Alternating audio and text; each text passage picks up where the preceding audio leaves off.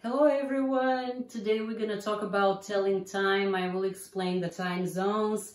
Uh, here is the, the globe again and there are 24 standard time zones, each with a central meridian of every 15 degrees of longitude. So there are 12 time zones to the west and 12 time zones to the east.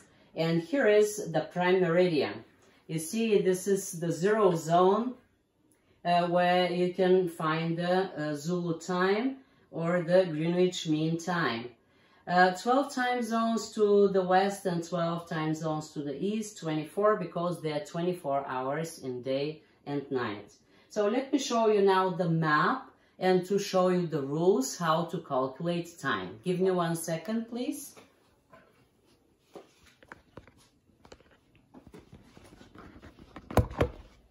Okay, so here I prepared for you something. Let me go with the uh, map which shows you the time zones. You have this uh, map in your book also uh, and in my PowerPoint presentations. Um, there are two major rules uh, what we have to follow to calculate the time somewhere else. So these are vertical strips. You see they have irregular shape here because some of those um, uh, time zones, they follow the boundaries of the countries, and that's why they look like that. But in each time zone, you see they have same colors, and the numbers are here on the bottom. Uh, the colors, they correspond to the numbers here. In one time zone, the time is the same. Uh, for example, as you see here, this is our time zone, plus 8. Here's Vancouver, San Francisco, LA. So all these places, they will have the same time. Before we start using the rules, I would like to show you the military time.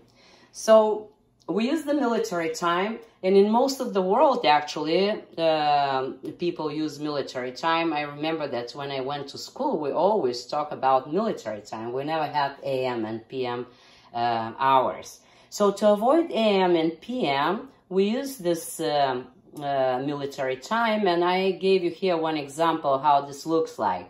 You see, if you have 6.05 AM, um, military time will look like 0605, like four digits. Um, if you have 6.05 PM, you have to add 12 hours to 6, and this will look like 1805. So you're gonna work uh, in military time and make yourself familiar. Otherwise, you can get confused if you use PM, AM, or military time. Just stick on military time. All the assignments there in military time. The midnight is shown as four zeros or 2400. Now, let's go to the map and see uh, the rules. First, the first rule is to find the time zone range between two time zones. As you see here, uh, in the Western Hemisphere, the numbers are the same like in the Eastern Hemispheres, uh, Hemisphere, but um, here they have negative uh, a sign, here they have positive. This is just a mark of the hemisphere. You don't use this uh, negative signs, for example, for calculation. Okay, so each of those numbers show you how many time zones to the zero zone. You see here is the zero zone, the prime meridian or the Greenwich meridian is here. For example, our time zone is plus 8. It means 8 time zones to the zero zone. Negative 2 means 2 time zones to the zero zone. Um, some of the um, zones, time zones, they have uh, halves, like three and a half. This half means half an hour. So uh, if you make the calculation, uh, don't forget that you have to add or subtract half an hour. And in the text on the, the first page of lab or in the book, in my PowerPoint presentations, you have an explanation about the rules. So you will always have a starting point, um, a place where you know the time and the date, and you have to go somewhere else where you have to find the time and the date. So the time zone range or how many hours difference between the two time zones. Let's say that we're here in plus 8 and we would like to find in Washington DC the time right now, uh, which is plus 5, time zone plus 5. So what is the difference between plus 8 and plus 5? You subtract the two numbers, so 3 hours difference. If we are here in negative 8, but we go, we, we would like to find the time in negative 3. So how many hours difference between these two time zones? 8 here and 3 here, 11, right? So when you have time zones with different signs or from different hemispheres, you have to add the numbers of the time zones to find the time difference. If you have negative 1 and negative 7, the difference will be 6 hours. You just subtract. If you have in this hemisphere, you also subtract. But if you have one here and one here, you definitely have to add the two numbers. So this is the first rule. You have to find how many hours difference between the time zones.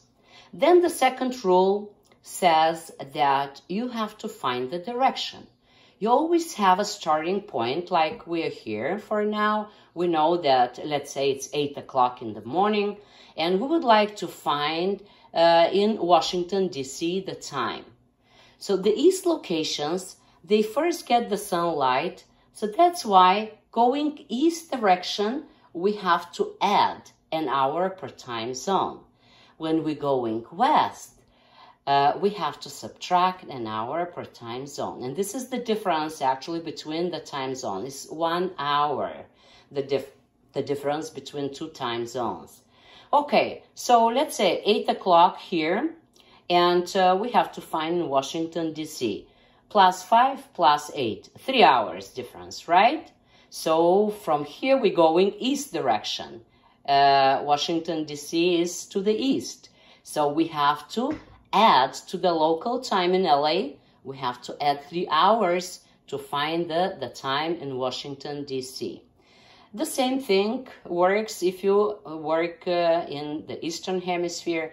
Going east, you add the time zone range to the local time. When we going west, let's see we're in negative, uh, we're in positive 8, and we would like to find uh, in Honolulu here in Hawaii the time um, if it's 8 o'clock in the morning, so going west, we subtract two hours difference. 10 minus 8 is 2, right? So going west, we subtract two hours. 8, 8 minus 2 is 6 hours. So this is how it works. You have to remember these two rules and you have to follow them. In your lab here, this is the second page. As you see, you have um, some cities listed here. It says from, you have the time, you have the date, you have the time zone range. If you don't have it on your page, you can go to my PowerPoint presentation and copy the correct numbers. Otherwise, you have to use this map and to find your uh, time zone numbers. And then you have to go to these cities. So to find the time zone range for the cities or you copy them. And you have to calculate the time here and the date also. Remember that when we pass midnight, we have to change the date. For example, 2401 uh, means one minute after 24, uh, which means that we are already next day. You have to change the date. If you subtract, goes the same way. So you calculate back the hours and you find your time and you change the date to the previous day. So here, for example, let's see, you have Seattle, it's 1301, you have the date and you have to find the uh, uh, time in uh, Moscow, uh, for example, and uh, you have to find the time zone range the time zone range, this is how many hours difference. So first you have to know the time zone numbers. You see Moscow is negative 3 and Seattle is plus 8, remember? So this is our time zone. plus 8 and negative 3. How many hours difference? 11, right? You put here 11 hours. Now we have to find the direction. We are here, we know the time and date here, we're going this way, east, which means we add. Here you can put a plus sign just to remind yourself that you have to add uh, this 11 hours to the local time in Seattle to find the time in Moscow. So 1301 plus 11 hours will be 2401. Remember, I told you already that this is one minute after midnight. What is the date here? 622nd. What date we're gonna put here? 623rd. So this is how it works. I would like to show you here some uh, cases uh, which uh, can make you a little confused. You see, if you have, for example, a time 1805 and you have to add seven hours. Um, so uh, this is 2505. You can leave it like that because there are 24 hours in day and night. You have to subtract 24. So this will be your uh, actual time, 0105, but you change the date. You go to the next date. If you subtract, let me show you, I have here an old-fashioned clock. Uh, you can see it. It's right here you, you subtract. Let's say you have 9 o'clock and you have to go back and you subtract uh, 10 hours, for example. How do you subtract 10 hours? You, start from 9 o'clock, you count 10 hours back, and uh, you reach uh, 11, uh, which is uh, 24 minus 1 will be 2305. This will be actual time and you will change the date. Uh, this will be the previous day. So these are important things uh, to know uh, or you can do this way. Uh, if uh, here is a sketch of the clock, 9.05, going back to midnight, there are nine hours. But you have to subtract 10, which means one more hour you have to subtract. 24 minus 1 will be 23.05 and this will be the previous day. You have to change the date. I hope that uh, this makes sense to you. I would like now to show you something else, the international date line. So you remember now the uh, rules for the time zones, how to calculate time. Now we're gonna go with the uh, international date line. The international date line is uh, in the ocean to avoid any confusion, doesn't go through the land masses because uh, you have to change the date there. You know, um, if uh, you want to, to check the, the times right now and uh, you take the globe and you start from LA and you go to the east, you have to add an hour per time zone. So when you go back to the starting point, you see you will have 24 hours extra. If you go west, you subtract an hour per time zone, which means when you go back to your starting point, you will miss 24 hours. To avoid this confusion, the international dateline was created. So here on this page, you have here, you see this is the 180 degrees meridian. Um, you know where the prime meridian is. On the opposite side of the globe is the international date line. When you cross the international date line, the rules for the IDL are opposite to the time.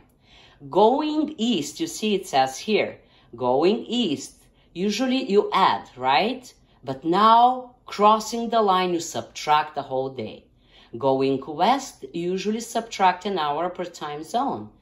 Crossing the line, you have to add a whole day to compensate.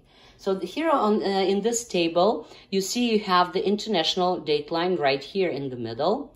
And you have not all the time zones, but some of them on the western and eastern side of the international date line. So this is negative 12 and plus 12. And you see here, there are few on this side and few on that side. And here you have one example how to do the, the time.